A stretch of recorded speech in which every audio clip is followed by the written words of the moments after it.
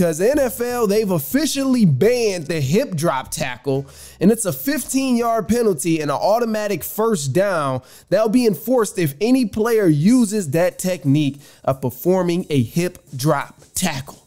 Now, they not just done there. The NFL got even more after that. In addition to the hip drop tackle, the NFL they also approved an extra team challenge if a team is correct about one of the first two challenges. So in total, they get three challenges as long as you're correct about one of the two challenges that you've used. I know it's like a, it's a little it's a little blurry right there, but we'll clarify that. But first things first, bro with this hip drop tackle, it's so soft, man. It's so soft. It's so soft. What is happening to the game that I fell in love with, bro, in terms of football, bro? What, what is going on? Because I remember the game I fell in love with was watching Ray Lewis hit the hole and smack a running back, knock his lights out, or catch somebody on a screen pass, knock their lights out. Watching Troy Polamalu come over top, smack a wide receiver who just caught the ball and didn't protect himself. Watching a running back like Adrian Peterson run full speed, truck a truck a, a linebacker, a defensive back, put them in the dirt and take it for six.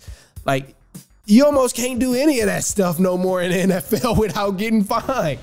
Running backs get fined for trucking players. Um, defensive backs get fined for targeting, for hitting guys too hard. And now you got uh, guys who can't even do a hip drop tackle. And, and, just to clarify, too, on the hip drop tackle, to, to kind of explain what it is for anybody who, who's not familiar, because I know it's a weird ass term, hip drop tackle. It's pretty much a standard tackle um, when you chase somebody and you grab you grab their hips and you just fall with your weight. If you can't bring them down with your arms, like many people can't do when you're when you're tackling in football, you have to use your weight to really bring them down. So now they're banning this move of grabbing someone by your hips and kind of using your weight to pull them down because of collateral damage.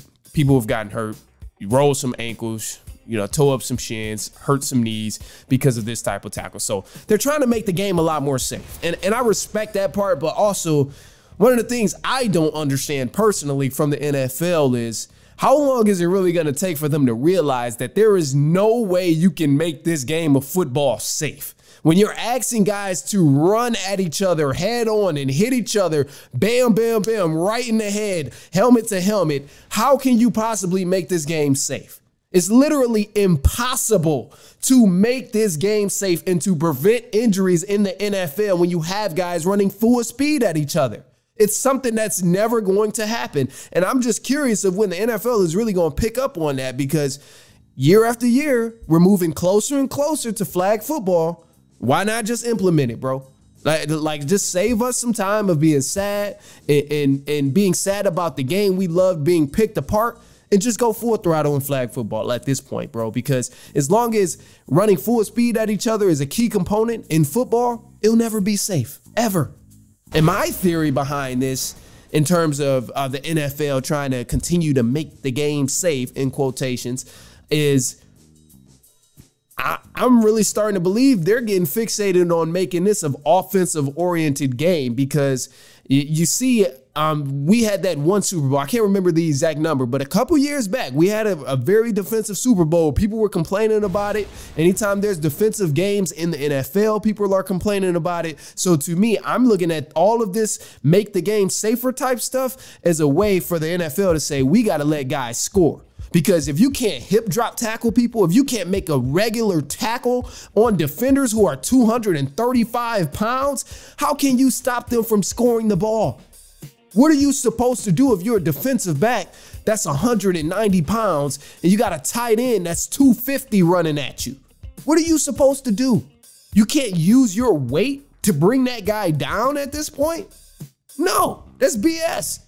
You got these huge running backs these huge tight ends that, that can't be brought down by a simple arm tackle. You're not slamming him to the ground with just your arm strength. It's not happening. And because of that, guys like Derrick Henry, guys like Travis Kelce are going to have 400 plus yards each game if you allow this to happen.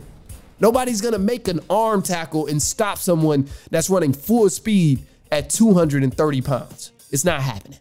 It's silly work from the NFL. And it's silly for anyone who thinks that this is going to be effective in terms of actually making the game safe. Because I guarantee you, people continue to get injured off those knickknack injuries of ankle injuries, um, knee injuries, shoulder, all of the above, everything you can think of in terms of somebody falling on top of each other in the NFL. It's still going to happen because you cannot stop it.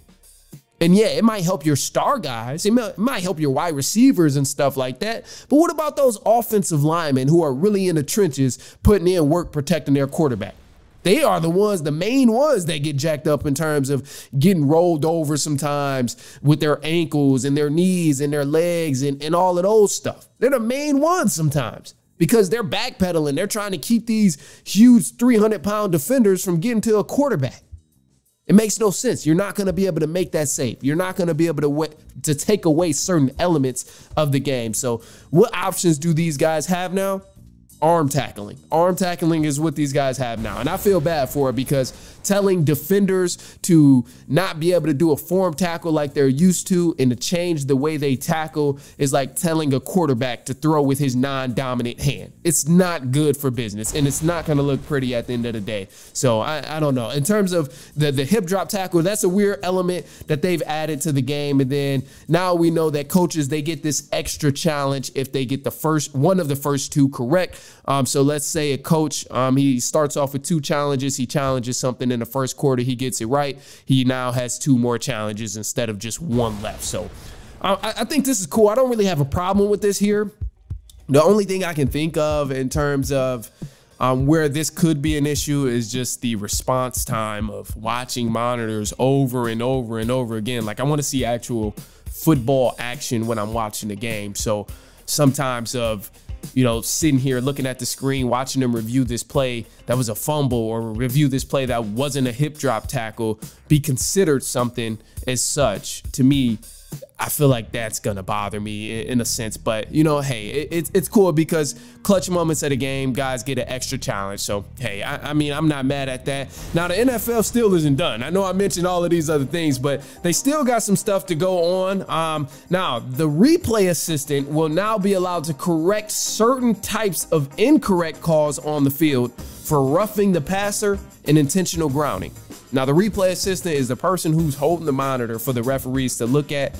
And the main concern here for me is like, how much weight is this replay assistant really gonna hold? Because if you got the, the crew chief of the referee uh, or the referee crew chief saying, hey, this was not intentional grounding, but the assistant is saying, this looks like intentional grounding to me. what are we gonna do about that? I, I, need to know how much weight he's gonna hold. So I would love to see more information where that's coming from, but I don't know, man. Um, all of this stuff is gonna be needed in terms of the new challenge, um, the, the review assistant, the replay assistant, all of that's gonna be needed with this hip drop tackle stuff. It's nonsense to me.